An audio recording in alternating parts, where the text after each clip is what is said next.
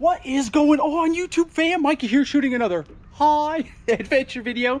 We have to set the frog gigging pole right there and get the boots on. Y'all, I was just down at our creek. I was getting ready to head down with Miss Bella. How are you doing, Bella? Hello. I had just gone down to the creek and I was in my flip-flops. Now, rule number one here in the South, uh, if you're on any water, especially back like here in woods, uh, that is a stupid move. Um, and I almost paid for it. We were getting ready to go down and hunt some minnows. And I literally was about two steps away from stepping on a copperhead snake. Now this is kind of crazy. It's actually been about a year since I saw the last copperhead down here just along our property here. All right, Bella. Bella, what I want you to do is I want you to stay here, okay? Papa's got his boots on.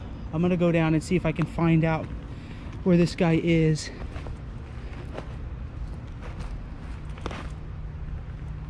Oh, here he is. Yeah, he's right over here. Right over here. All right, Bella, come on down. You want to come down and see him? You see him right there? Mm-hmm.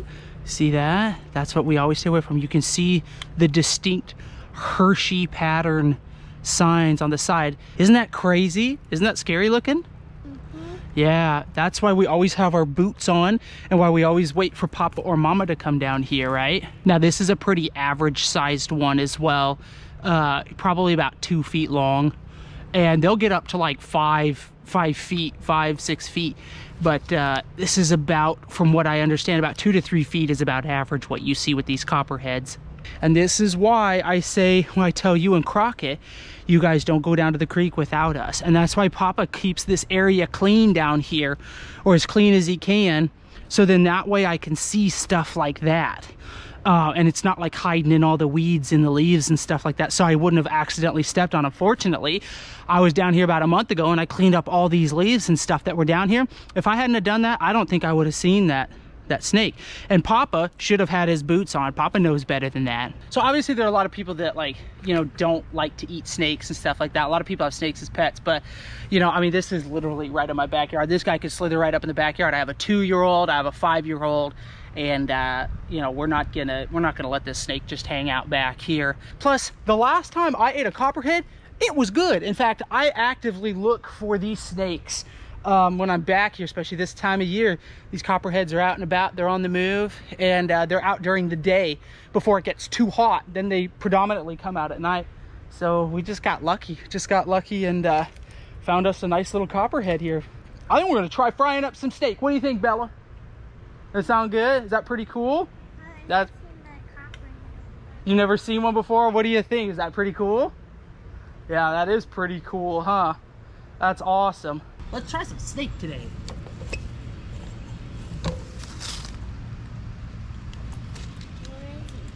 It's right here. Oh, I'll get him. He's a fast little guy. Yeah, he is fast, isn't he? Look how he blends in. Look at that. Look how he just blends in with all the leaves and stuff. That's why we got to keep this area back here clean. Got to keep it clean because he just blends right in. Oh. Look at that. He's shaking his tail. Whoa, he just bit the camera. Woo.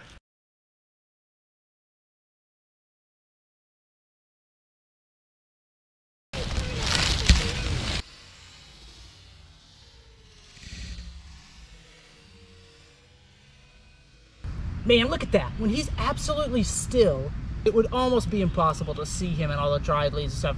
You'd see him, but it'd probably be too late.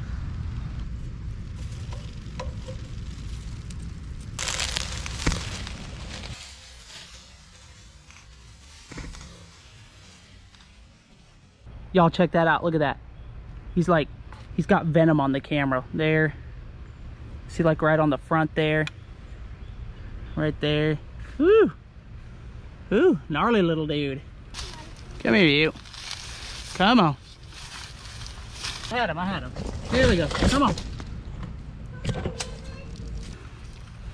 There we go, we got him. Whoop, whoop. All right. Look at that. Woo. We ain't in Idaho anymore. tail shakes. yeah, look at that. Doesn't that, isn't that cool? It like rattles. Well, that's good to know. I didn't know they rattled their tails. Yeah. That's a good thing to know. I tell you what, I'm glad I cleaned all that up down there this spring. What is he Yeah, doing? get away.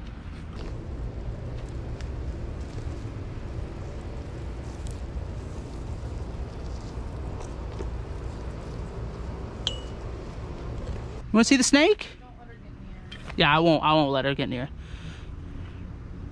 Poppy, look at that. What do you think, Poppy? What do you think? Y'all, actually, we have our kitty. No, now, Poppy, stay back. Stay back. See the snakey? Eat, puppy. Sorry, Poppy. No, you're good. Poppy will actually find the snakes and the lizards. She's kind of like a guard cat. Um, we've had her like when we go down to the creek and stuff, she'll be pulling out like typically it's just like water snakes and garden snakes and stuff like that. She hasn't found a copperhead yet, but she'll totally like she. I, I kind of like having her around because she'll find that stuff.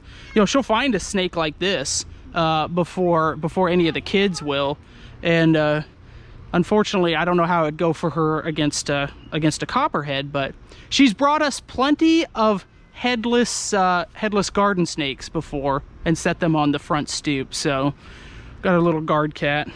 Time to go ahead and get this snake. We'll go ahead and kill it. Right there. Pretty cool huh bella? Now we got our first copperhead together. Good job. I don't know what's on his tail.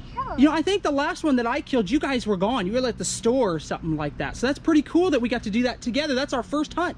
Maybe one of these days, what we'll do is uh, I'll give you the frog gig and spear, and uh, you can spear him yourself when you're a little bit older. What do you think? Yeah, I can be like six. There you go, like six. There you go. We'll let you get a little older, and then uh, we'll have uh, we'll have the next generation catching and cooking copperheads. That'd be awesome. Oh, here goes my son. Just woke up from a nap. Hey, Crockett. Look at the snake. You don't touch it. We don't touch them, but look at that. That's a copperhead. Whoa, that's pretty cool, isn't it? Yes, Now he's still alive, so we don't touch him, okay? You can come over and look at him. He's on it. He's on the spear. Can't see his teeth. They're very small. Yeah, he's got two fangs in there. What do you think, Mr. C? Good. Good. Uh-huh. Yeah, I don't think you've ever seen a copperhead before, have you? Oh, wait. No, you saw the one last year Papa got. Do you? Yeah, baby snake. Yeah, see how he's still alive? See how he's still moving? See how that tail's shaking right there? Yeah. Yeah, that's why we do not touch him. Do you understand me? Yes, sir. There you go. There you go. Head off from there. Yeah, I'll chop the head off from there. Says he's still restrained. Whoa, look at you go. Hey, hey, hey, hey. High five. High five. Well done. Look at us, man. We just hunting in the back. Good job listening to Yeah, good job, baby. Have fun. Drive safe. All right, y'all, we're going to head down the creek and first see if we see any more copperheads. I wouldn't mind adding to it, but I also want to try to get a water snake here. Having only been in the south for about a year now, a little over a year, um, I got confused because I saw these. They're like they're like North American water snakes or something like that, and they're very similar. They're very they're a very orange color, and they have very similar markings along the side. And at first, I thought it was a copperhead. And there was a lot of debate in a video and in an Instagram post that I made about what type of snake it was. So, what I'm kind of hoping to see is if maybe we can go up this creek here and uh, find a water snake and we can kind of do a side by side comparison. You know, normally when I go hunt these creeks, I'm always like looking along the edges and in the water. I don't oftentimes look up here but that's twice now I have found the copperheads not in like next to the water. They're up on these flats. I need to be looking on these flats more. Who knows how many snakes maybe I've potentially missed. Because I'm thinking, hey, they're going to be down by the water cooling themselves, right? Not necessarily. Ooh, spiders are coming out too. Good grief, gotta watch out for the webs. About made a facial right into a big spider web. You'll hear High Adventure scream like a little girl if that happens. Okay, you guys aren't gonna be able to see this, but there are water snakes. I see two heads sticking out from under this concrete pad right down here. There's no way they're gonna come out, but I see them back there.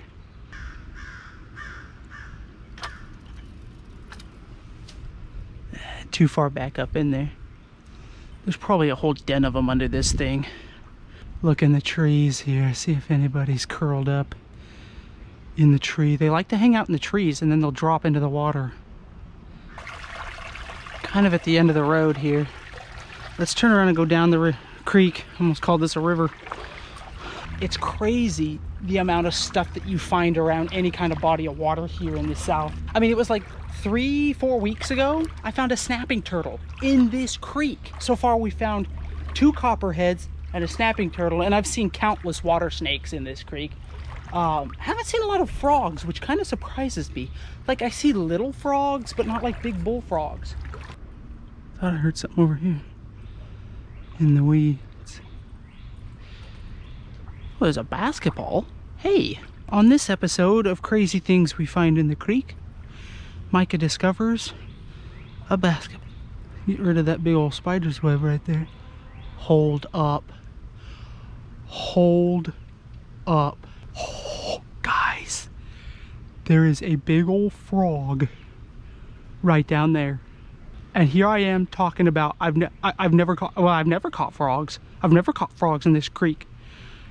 And alas and a lad, that's an eating sized bullfrog. That's a healthy little toady. First off, let's grab this basketball right here. It says SOP on it. No idea what that means. It's like a girl size ball. Man, I tell you what, if they had to let me play with a girl size ball in high school, man, I would have balled out. Instead, I had to use a regulation size basketball, which is dumb. Pfft, baby mitts couldn't do anything with that. It is a nice sized bullfrog. Oh, shoot. Oh, man. I didn't expect him to run, dude. Oh, man. That dude knew he was on the menu. He was like, not tonight. I thought I thought he'd feel pretty safe up in that cubby. I thought he was just gonna let me. I thought he was just gonna let me get a clean shot at him. I thought he thinks he's hiding, and I'm gonna just pop him real quick. But sneaky little devil. I see. Wait, wait, wait. There's something up there. It's either a big lizard or a snake. Oh, it's a big old lizard. Look at this thing. Look at this thing. Wait, is that like a salamander or something like that? Look at that thing. Oh, there he goes. Dang it. That got me excited. I thought, yes, we found one. Now. Oh, wait, guys. Oh, look at that. Look at that. Look, big bat, black snake. There's a big old black snake right here. Check this out. Ooh, look at this guy. I'll go three feet. Look at that. He's shaking his tail too. Look at that. It's just a black snake, isn't it? Yeah, I think so. Whoa, man, all the snakes are out today. The snakes are coming out. Look at that thing. These guys will eat the rodents and the big bugs and stuff like that. So we don't mind having these guys around, but look at this. It's doing like the same thing. Like shaking that tail. Whoa. Oh, look, at, look how fast that is. Whoo. He is fast. There he, oh, that was quick. I don't kill the black snakes. If I'm not mistaken too, the black snakes, they might even eat the copperheads. I'm not 100% sure on that, but I do know that they'll eat the mice and stuff. So we leave those guys alone. They, uh, they clean up the critters, so I don't mind that. I mean, copperheads clean up the critters too, but you know, if you get bit by a black snake, you don't have the possibility of dying unlike a copperhead. All right, it is time to clean some snake. Now this guy's still moving. I have actually like speared it several times in the back of the head. Um, I have tried drowning it. Uh, and as you can see, there seems to be quite a bit of life in it. The one thing I do know though, to make us safe is to take the head off. So very quickly, just, so we've got the head still attached to the spear. So we'll just go ahead and go ahead. okay, I set that off to the side. And then this is actually a pretty simple process. Just start down at the vent of the snake and you just cut up. And this guy's gonna move, I guarantee it.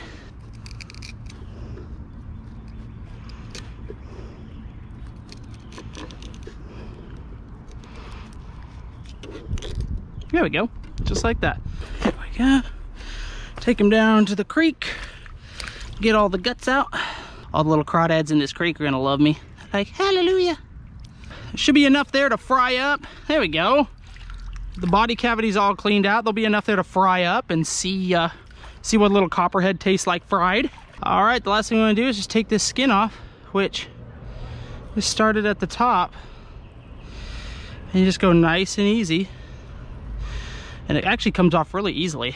And what I need to do is I need to figure out how to like process this to like preserve it. Especially if I get, I mean, imagine getting like one like twice this size or like a five or six foot timber rattler or even copperhead. Like, man, that'd be a beautiful skin.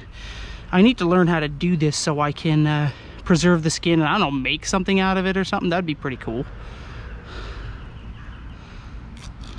There you go. All we're left with is the snake meat, which admittedly isn't a ton on this little two footer, but enough to fry up. There you go, you see the Hershey markings there. Look like little Hershey's kisses. There's a telltale sign of a copperhead. Also those slitted cat-like eyes and that, uh, that diamond-shaped head. Plus, you could always get bit by one, and when you start to swell up and you need to go to the hospital, you know, that's that's always an, a, another good way of being able to determine if a snake is venomous or not. All right, y'all, it's the next day. I had a birthday party to go to, but we're back. Gonna cook this snake up. Here you go. Just kept him in the fridge overnight. Drop him in there. Let's grab some of this Louisiana fish fries seafood breading dump a bunch in there. We grilled the last snake we caught, so we're gonna fry this one up. See if it does any better. People ask me all the time, they're like, does snake taste good? And I'm like, you know, it's good enough to where I wanna keep catching them. So, yes, snake does taste pretty dang good in my opinion. At least this copperhead does.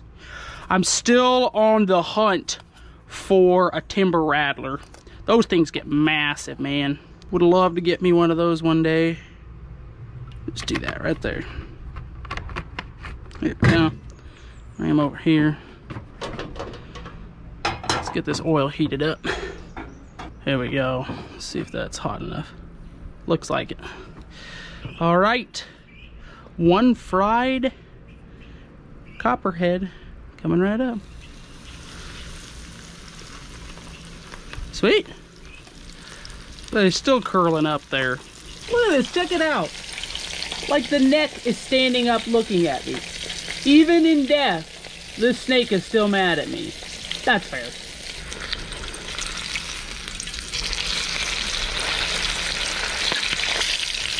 All right.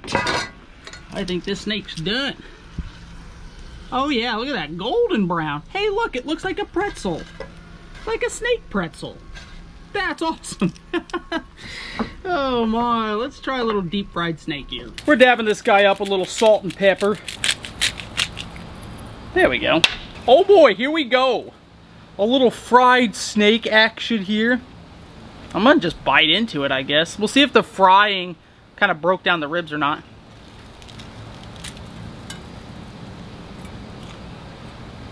Actually, it did.